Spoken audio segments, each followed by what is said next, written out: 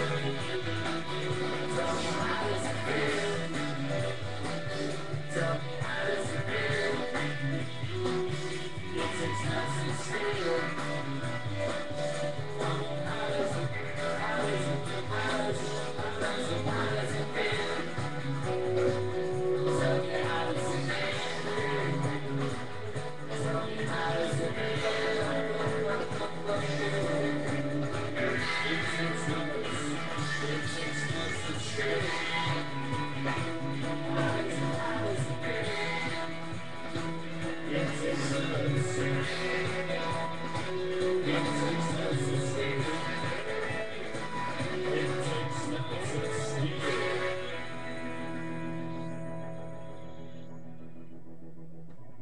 right. Good morning. Good morning. Good morning. We are going to be moving on to peripheral nervous system, nerves of steel. Oh, sorry. Hold on. Here we go. Nerves of Steel was my little song to get you started here to tell you that we're going to be talking about nerves, okay? And so peripheral nervous system is what we're going over today. You should have watched central nervous system before this. And in central nervous system, I went through the brain, the spinal cord, gray and white matter, which is the controlling part, which is the transferring part, how the brain looks, all the different areas of the brain, all those lobes, the cerebellum, the brainstem, the three parts of the brainstem, midbrain pons, medulla oblongata, the cord with the white matter on the outside, the gray matter on the inside, the transference of information on the white matter, the controlling of information on the gray matter, and how nerves come out to form nerves of the peripheral nervous system. And that's what we're moving into at this point. Peripheral nervous system is going to have two major groupings cranial nerves, which are going to come out of the cranium or the base of the skull, and also spinal nerves, which will come out of the spine. And that's what we're going to be looking at today. I'm going to go over the general microscopic anatomy of the nerves and how they look first, and then where the nerves come out and what they do, okay, and how they're structured. That's what we're doing for today. So, peripheral nervous system, okay? So, peripheral nervous system's whole job is to sense and to move. There's that sensory component and there's that motor component, which we've gotten a general gist of so far. Okay, so we're going to have sensory receptors, we're going to have peripheral nerves, and we're going to have ganglia. We've touched upon ganglia a little bit already. Ganglia are little bags that we're going to find in the peripheral nervous system um, that contain cell bodies. So whenever you hear me talk about ganglia, there's two groupings we'll get into. Two groupings. They're bags of cell bodies. So if they're bags of cell bodies, we know that cell bodies are going to be the controllers, the integrators, the thinkers. Okay, so ganglia. And then motor endings we'll have in the peripheral nervous system control motor of the body. Okay.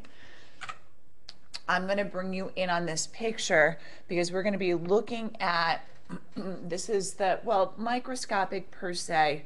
You really could see this um, except for the axons with the naked eye. So this is going to be a section of a nerve, okay?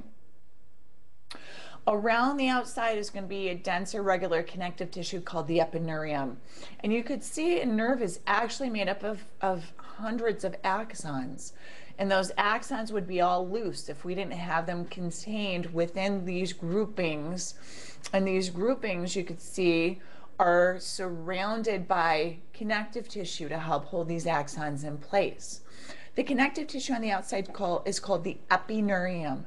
And quite often we use epi as a descriptive term for covering around the outside of something, epineurium. Perineurium is another grouping, well, perineurium is going to be one grouping of axons. And around that group of axons is going to be a dense connective tissue that's called the perineurium. It groups these axons into what are called fascicles, smaller bundles of axons. Okay? Now, around the axon itself is the endoneurium. And that's going to be um, a little bit looser. I'm not sure if it's a dense or a loose connective tissue, um, but it's going to be a connective tissue that's around the axon itself. So, what these little layers do is help to bundle these nerves, or axons, I should say, into really workable groups to help um, cover them, protect them, and keep them from intertwining with each other. Okay, so that is the basic nerve structure. And you can see if you look really closely the axon itself in the myelin sheath that's going to be around that axon.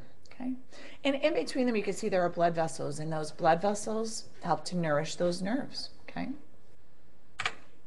so we have out in the periphery, if you think about um, any area in the body that's going to have nerves going to it, Okay, we have at this point little nerves that perform different functions. Okay, and these nerves in these areas. So let's think about the palm of the hand. Let's make it a little simpler. Okay, the palm of the hand, right underneath the skin or in parts of the skin, will have a whole bunch of different types of nerves, which will sense different types of information we've got in the palm of the hand nerves that are unencapsulated and then nerve receptors that are encapsulated.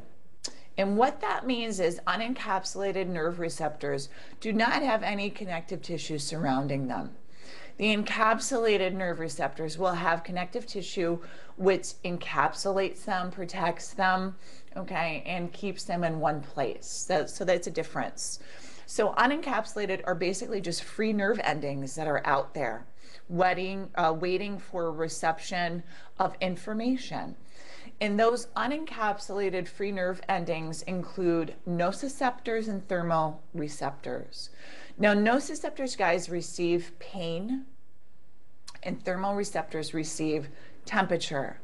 Well, I think that's a really good idea to make those unencapsulated because if we're sensing something that is either painful, you know, we get out a knife, we stab ourselves, we need to know quickly um, that that information is dangerous. So if we have unencapsulated free nerve endings, they don't have any connective tissue to get in way of that information. We can sense really quickly that something painful is happening to us thermoreceptors are going to sense hot and cold, but they can also tell the upper regions of really hot and really cold.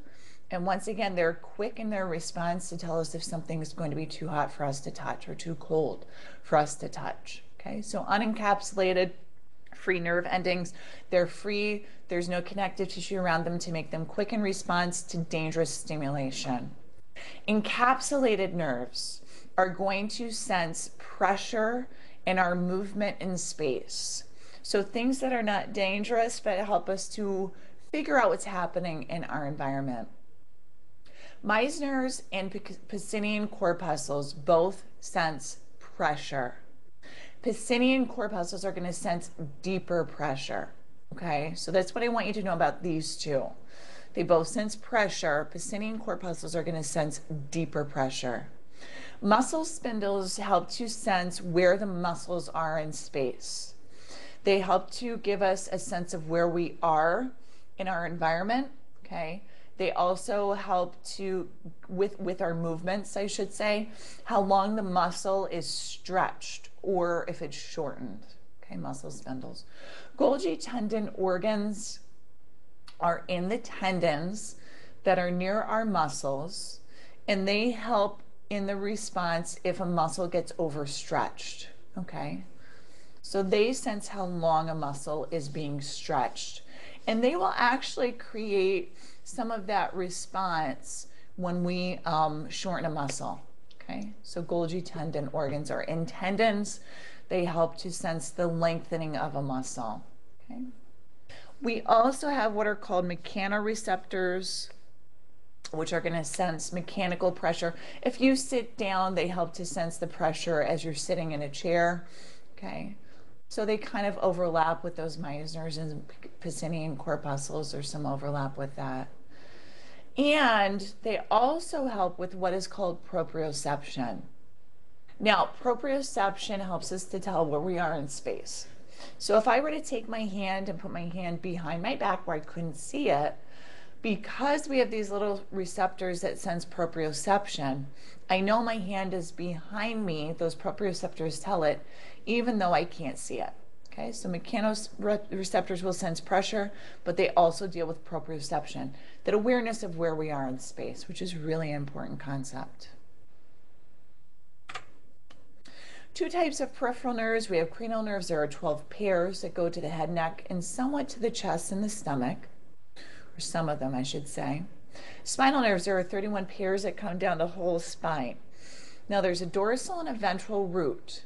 We've talked about this before, and I'm actually going to show you a picture a little bit. I think it's a little bit further ahead. Yep. Okay. Those dorsal and ventral nerve roots are going to come right off the spinal cord. Dorsal have the sensory nerves, ventral have the motor nerves. We went over this in lab. They come out and they form what's called a mixed spinal nerve, which has both sensory and motor nerves. Okay, so I have a picture of that I'd like to go over in a few slides, but that's the general gist of it. So when those spinal nerves come off, they're going to have motor and sensory in them. That's why they're called mixed spinal nerves. Sensory receptors are specialized to respond to changes in their environment. Okay activated. So we've got those graded potentials. Remember that from action potentials. Okay. we've got those graded potentials, which will eventually um, get it high enough. So if you can imagine, excuse me, if you can imagine um, that chart that I drew for you that shows the voltage going up, eventually those graded potentials will trigger an action potential, is what that is saying in these nerves.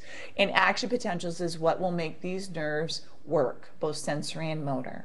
Okay. Now, that sensation is going to happen in the body, it's going to travel on nerves, go up the spinal cord, and up to the brain, where it's sensed in that post central gyrus. Okay, so sensation. Here we go. Mechanical receptors are going to respond to touch, pressure, vibration, stretch, and itch. Okay, so they do more than just pressure and proprioception. Thermoreceptors will sense temperature. Photoreceptors, whew, this one's easy, thank goodness, sense light. Chemoreceptors will respond to chemicals. Okay, those are our special senses smell, taste. But we also have chemoreceptors in the blood, and we'll get into those in, in the future. I don't want to blow your brain. I know this is a lot today. Nociceptors are going to be sensitive to pain. Okay. Now, pain can include extreme hot and cold. So thermoreceptors will sense temperature up to the point where it can start to damage us. And then it switches over to nociceptors and says, "Who? This is dangerous. We need to get away from this hot flame or this really cold ice that we've been holding for a long time." Nociceptors also can sense excessive pressure. You know, if you get hit, sure, that's pressure, but your nociceptors will sense that because they will sense that damage is happening. Inflammation and chemicals, dangerous chemicals. Okay.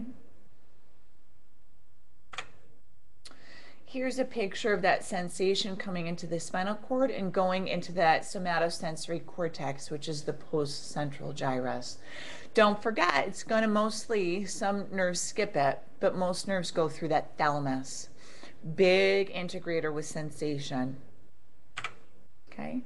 Now, adaptation of sensory receptors. This is actually a really easy concept when you put on, you got up this morning, you had your coffee or your tea or your water or whatever, and then you put on your clothes and you put on your rings and you put on your makeup and then you put your glasses on. Did you think all day long, well, I've got my shoes and my socks and my underwear and my bra and my shirt and my glasses and my jewelry on?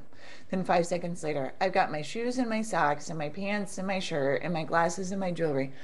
No, because you adapt to that sensation if you were to sense everything that touched your body, or if you were to think about everything that you saw every second of that day, you would lose your mind. It would be too much overload.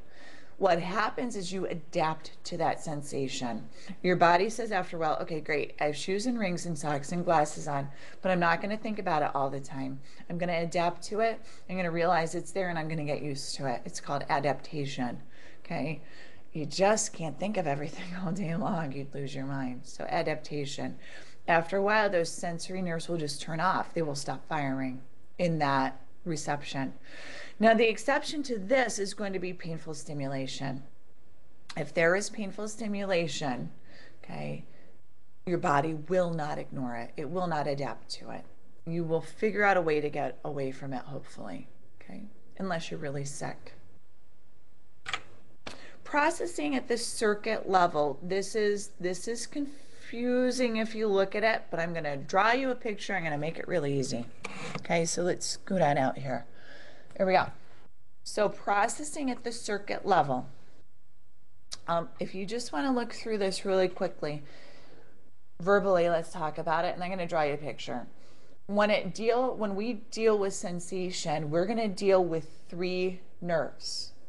We're going to have nerves that are going to bring that sensory information of me touching my hands into the spinal cord. Then you're going to have a nerve that's going from the spinal cord to the thalamus. And then you're going to have a nerve from the thalamus to the brain. So this looks crazy confusing when you look at it. It's really simple. Three nerves deal with sensation. Nerves will come from the peripheral into the cord. Another nerve carries in sensation from the cord to the thalamus. Another nerve carries that sensation from the thalamus to the brain. So, what happens is we're going to have some sort of sensation. That sensation is going to carry that information on that peripheral nerve,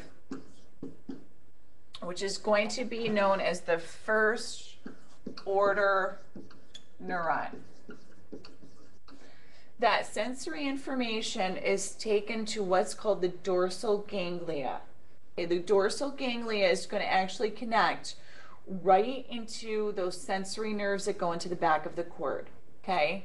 And what that dorsal ganglia is, is a collection of cell bodies that's going to connect this first order neuron to the second order neuron in the spinal cord. Okay, so first order neuron is going to go to the dorsal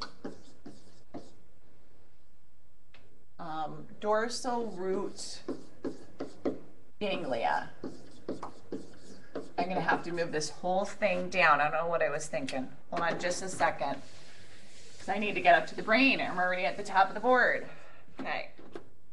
So here's our peripheral nerve also known as the first order nerve. what they call it? Neuron nerve. Okay. It's going to go to the dorsal root ganglia, which once again is just a collection of cell bodies for this sensation to come into the body. it's going to connect that first order neuron with the second order neuron. Okay, so this dorsal root ganglia is going to be right next to the spinal cord. Okay, and then this is going to connect to the second order neuron, which is going to go from the ganglia in the back of the spinal cord or close to the back of the spinal cord. And that second nerve is going to travel up the spinal cord. I'm going to kind of write this all down to down for you. To the thalamus. Okay. The thalamus is going to send a nerve to that to the different parts of the brain. Okay that posterior gyrus, the primary somatosensory cortex. Oh, it's, it's tough. Okay, so let me go through this one more time. First order neuron is going to come from the periphery of the body up to the cord to that dorsal root ganglia, which is just in the back part of the cord. It's actually connected into the sensory nerves that'll lead right into the cord. That dorsal root ganglia is then going to lead to the second nerve, which is going to travel right up the cord that second nerve goes to the thalamus. The third nerve is going to start in the thalamus and go up to the postcentral gyrus. Whew, that's tough. Three nerves is what you need to remember, okay? And where they connect.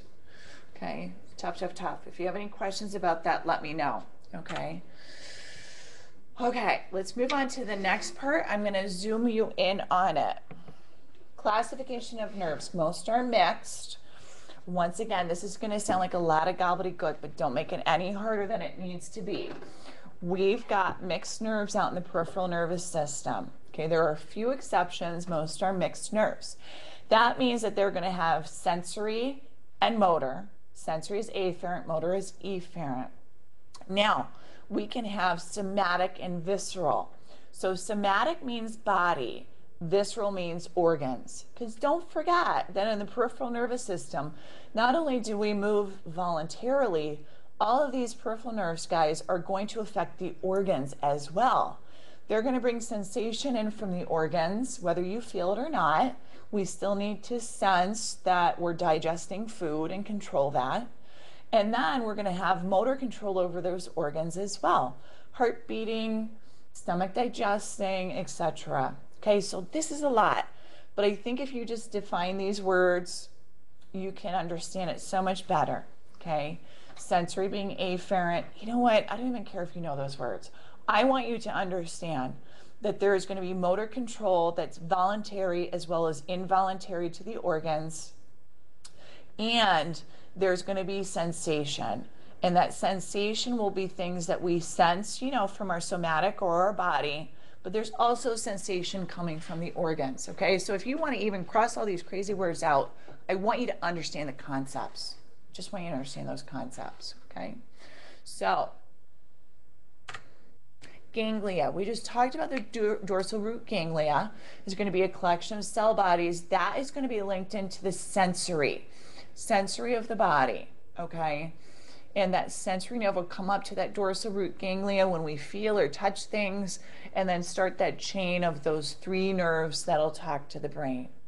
We also have autonomic ganglia. We're going to talk about the autonomic nervous system next. Autonomic is automatic. It's going to be a collection of cell bodies that deal with all those automatic cell, or I'm sorry, organ functions that happen in the body. Okay, autonomic. Okay, regeneration of nerve fibers. Now, here's the thing nerves will not, and we talked about this before, but I want to refresh your memory. Nerves will not um, mitose.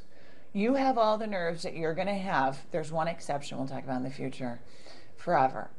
But if they damage, they can um, regenerate themselves or fix themselves. Okay. And what'll happen is the ends of the nerves will move together. This only happens in the peripheral nervous system. The central nervous system will not fix nerves if they are damaged. Okay, and that's at the bottom there. They actually have growth inhibiting proteins that'll prevent that from happening. But in the peripheral nervous system, we have Schwann cells, and those Schwann cells will help to remove debris and regenerate axons. Okay, so just a little refresher. Just a little refresher for you.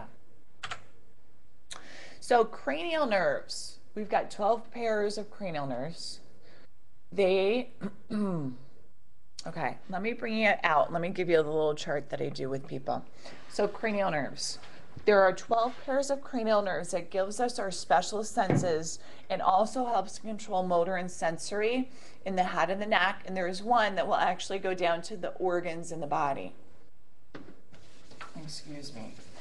I'm going to give you the, excuse me, the mnemonic for them to remember their name and to remember if they're sensory motor or both sensory and motor. Because some of these specialized nerves are only sensory, some are only motor, okay, and some have both functions. So I'm going to give you that gist, and then we're going to talk about their actual function in lab. I have an exercise to give you their actual function. Because if you look in the book, they give you lists of several functions for each cranial nerve. What I've tried to do is give you the most clinically applicable ones um, in lab, and that's where we'll review them, okay? So we've got one, two, three, four, five, six, seven, eight, nine, ten, eleven, twelve cranial nerves. Okay? The mnemonic that your book gives you is on occasion our trusty truck acts funny, very good vehicle anyhow. I, I don't know why that doesn't stick to me.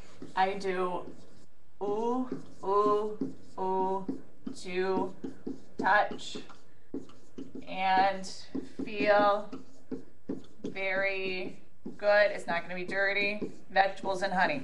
There's a dirty one online. I'm not giving it to you. And honey. Okay. If that mnemonic helps you, that's great. What that does is that gives you the first letter. I'm going to let you look up the cranial nerves on your own because I've done them a million times. Okay. I need to sort of move on with this lecture. That gives you the first letter of each cranial nerve. Okay. Olfactory, oculomotor, optic, etc. I should transpose those. Olfactory, optic, oculomotor, etc., etc. Okay. So I'm to let you do those on your own. But that gives you the first letter of each of the cranial nerves. The next thing is a mnemonic to tell you whether they're sensory motor or both.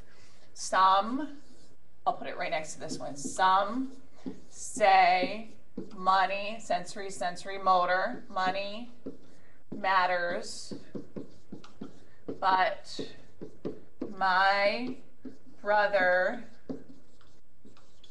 says big business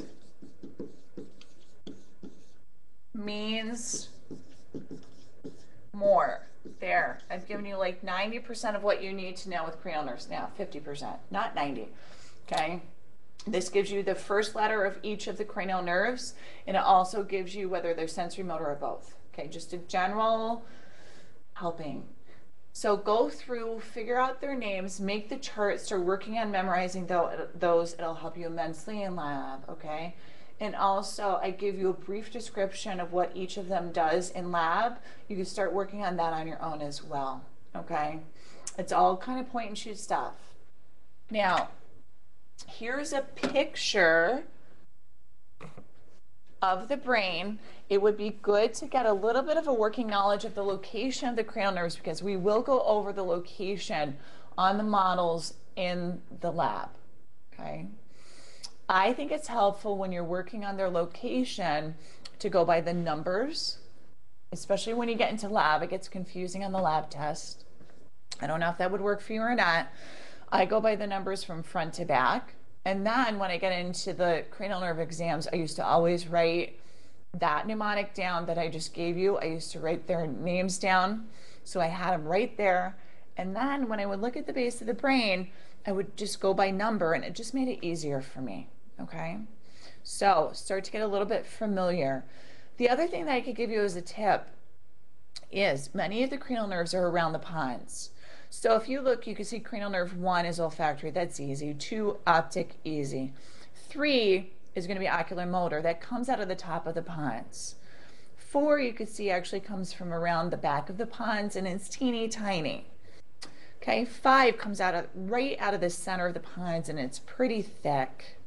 Six is going to be at the bottom of the pons. You know, so if you kind of think six, seven, eight come out of the bottom of the pons.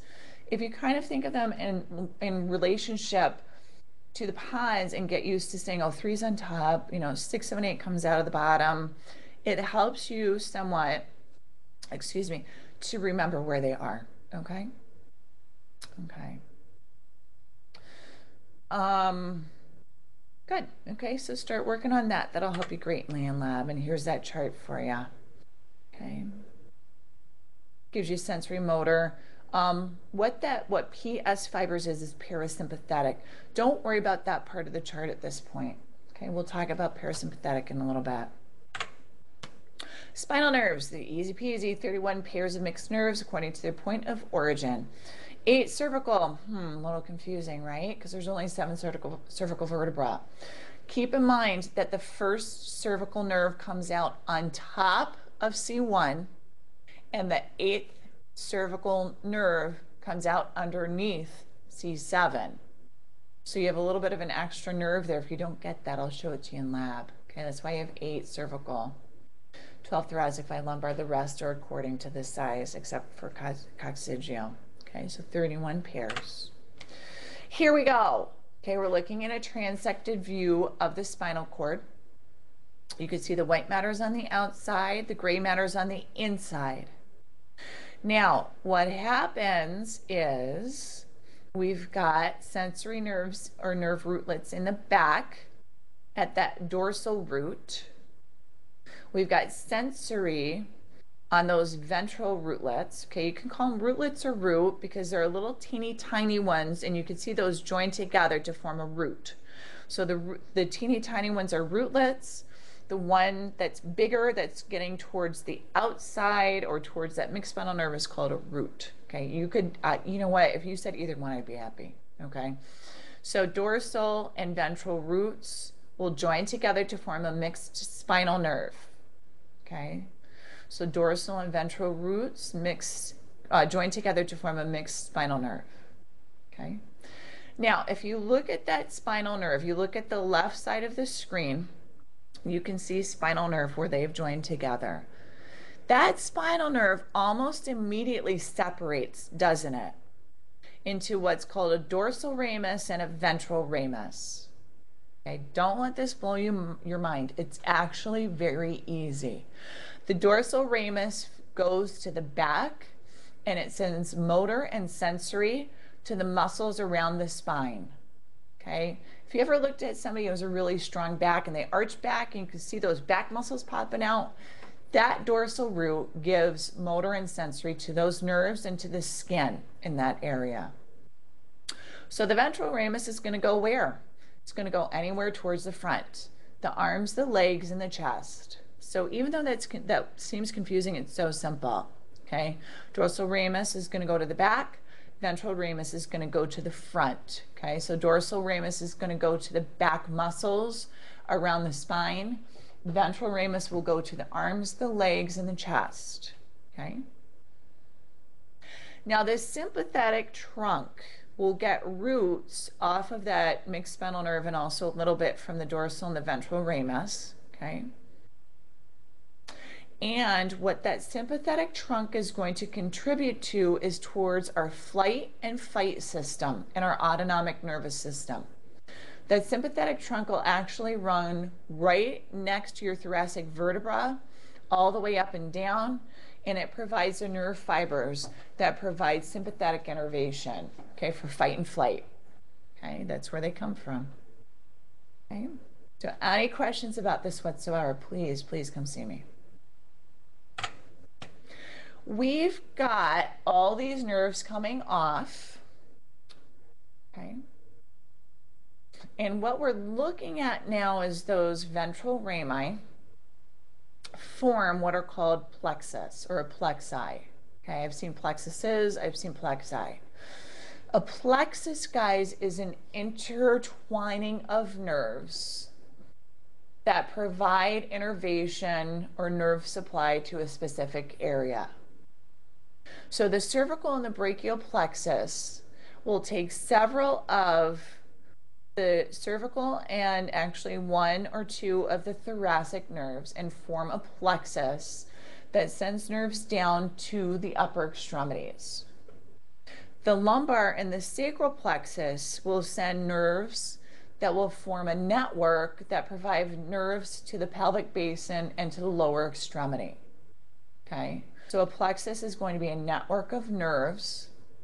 Okay? A plexus is singular, plexi or plexuses or is plural. Okay, I usually use them interchangeably mistakenly, but anyway, plexus is going to be a network of nerves and those nerves will intertwine to provide nerves to the upper and lower extremity. And I'll, I'll tell you why in just a second.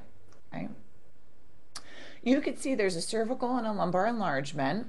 That cervical and lumbar enlargement is there because we have simply more nerves coming off of it, more nerves coming out of it. So it's providing a bigger um, supply of nerves.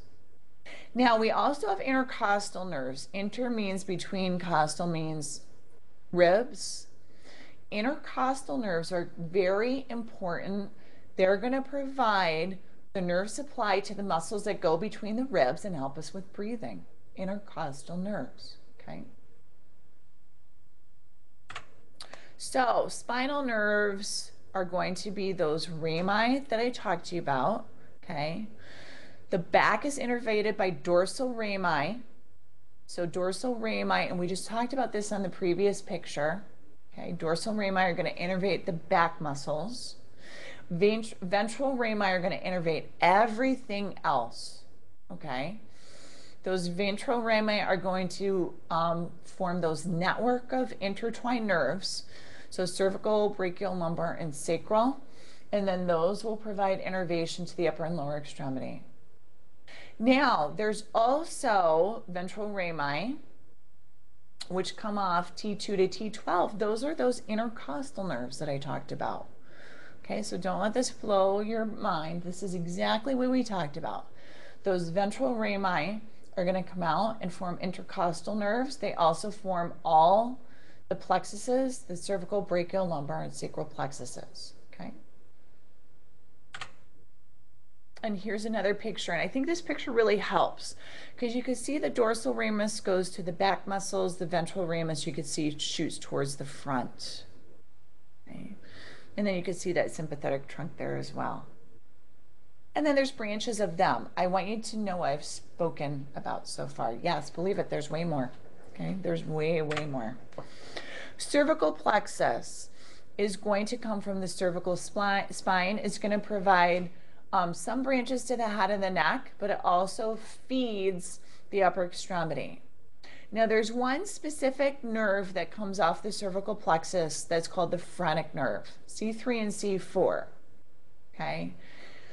The phrenic nerve, I would add C5 to that. And let me tell you why. C3, 4, 5 nerve roots are going to combine to form the phrenic nerve the phrenic nerve goes to the diaphragm. Okay, so C3, 4, 5 keeps the diaphragm alive. The phrenic nerve is very important because it is what makes the diaphragm work. And the nerve rootlets that feed that are C3, 4, and 5. That's important to know because somebody has a fracture here. They can damage the phrenic nerve or the nerve roots that feed it, and that person can stop breathing. That's why it's very important to always examine someone with either a CAT scan or an x-ray who's had a massive head trauma or spinal trauma, okay? There's also little branches that feed the spinal accessory nerve. That's not really necessary for you to know at this point, okay? Here's a picture of the brachial plexus. This is every anatomy student's nightmare, so I'm actually going to keep it simple, believe it or not. this is simple. But the brachial plexus is going to take nerve rootlets from the cervical spine and the upper thoracic, T1. So the nerve roots that feed it are C5, C6, C7, C8, T1. And you can see it forms this really complex network of nerves that provide innervation to the upper extremity. The only subdivision of this that I want you to remember is that there are roots that feed it. As those roots move out laterally towards the arm, they form trunks. Those trunks turn into divisions as you move laterally. Those divisions turn, in, turn into cords. And then the cords, I'm having a problem with that word today, cords turn into nerves. So roots, trunks, divisions, cords from medial to lateral, and then nerves. The easy way to remember this is real tired, drink coffee. Roots, trunks, divisions, cords. Okay? So brachial plexus. And that's simply the roots, trunks, divisions, cords is how it's divided. And it's so complex that anatomists divided it down into these subdivisions to make it easier for it to be understood as to where you are when you're talking about a specific area. Okay, so but what you need to know is it comes from nerve rootlets C5, um, some cases C4 down to T1. Okay, and then it's divided into those roots, trunks, divisions, and cords. Now the lumbar plexus is going to be L1 through L4 nerve roots are going to feed it. It's always combined with the next um, plexus, which is the sacral plexus. People combine lumbosacral plexuses together because it's these two plexi that actually will feed the pelvic basin and the lower extremity. Okay, so lumbosacral plexus, they'll be grouped together. Lumbar is L1 through L4, sacral is L4 through S4. Okay. Innervation of the skin includes what are called dermatomes. And dermatomes are the area of the skin innervated by a cutaneous branch. So the, if you can imagine those ventral rami came off, there's actually one little branch that'll go to the skin. Okay. And each level of the spinal cord, C2, C3, C4, C5, etc., send this little branch to the skin. Okay. Now, some of these dermatomes overlap, so it's hard to identify them. Okay. But when we get into the upper and the lower extremity, there's very specific dermatomes in the upper and the lower extremity. And what that helps us to do is if you check sensation of those dermatomes, it can help give you an idea if there's damage to that nerve root. Okay, so the dermatomes, and I put that in the wrong place. Let's scoot ahead two slides. You can see if you look really closely that there's a C5 dermatome on the lateral aspect of the forearm and the top part of the shoulder. So if you blow a disc or a herniated disc that pushes on the C5 nerve rootlet, and you were to test that patient and just sort of touch their arm lightly on the C5 dermatome in the right arm and then the C5 dermatome in the left arm, that could tell us if they have a difference, on, you know, so if they have damage to the right C5 nerve root, their sensation in that C5 dermatome is not going to be as um, sensitive as it is on the left side. So what neurologists will do, let me bring you out for just a second. So here's the C5 nerve distribution for sensation of the skin, the dermatome of it. Here's C5 over here. So if you have a huge herniation that's pushing on this right C5 nerve rootlet, you'll come in and you'll have motor loss as well as sensation loss in the right C5 dermatome. So what neurologists will do, or, or any clinician really, is take a pin and poke you there. And if you have damage on that nerve rootlet, you won't feel it. Ping, bang, bang, bang, bang. They'll stab you with a little pin. But they'll take that pin and do it over here and you'll feel it. It'll hurt. It's one of our screenings when we're clinically working with people to try to rule out a herniation. Okay, you want to see how that sensation is. If the sensation is different from side to side, it's one of our clues that there might be damage to that nerve root. Then we would do some motor tests and some reflex tests as well. Okay, so it helps to gives us give us a whole clinical picture. So dermatomes are going to help us with that. Dermatomes are specific areas of the body, and we're going to look at those specific areas in lab and practice with them. That we have sensory innervation, and by testing those areas, we could have an idea if there's damage to those nerve roots. Okay. Oh, this is a lot of information. We're going to take a break. I'm going to switch over to the next set of, of, of notes. Please, please, please, if you need any help with this, I'd be more than happy. My advice to you would be to watch this a couple times, look things up in the book if you don't understand it, and then write down your questions for me if you don't get it. All right? Time for a musical interlude.